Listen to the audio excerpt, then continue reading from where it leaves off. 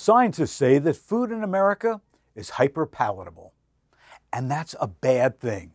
Tera Fazzino, assistant professor of psychology at the University of Kansas, who led the study, says that most foods eaten in the U.S., including some marketed for weight loss, contain ingredients which make people want more.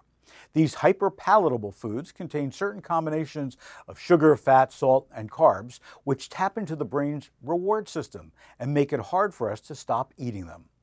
According to the study published in the journal Obesity, hyperpalatable foods fall into three categories.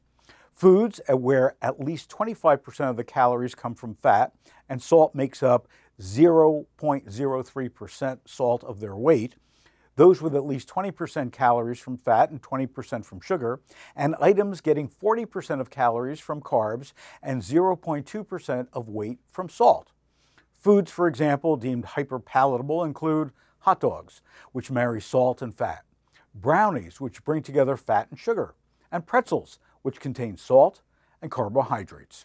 To come up with this definition, researchers used special software to see which ingredients in 7,757 foods that are sold in the U.S. actually shared.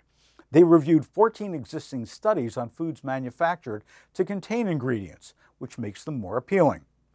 Now, based on the new criteria, the team found that 62% of food sold in the U.S. was hyperpalatable.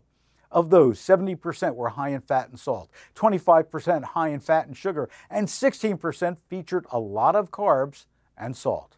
Among foods labeled as having no reduced or low levels of sugar, fat, sodium, or calories, 49% were hyperpalatable.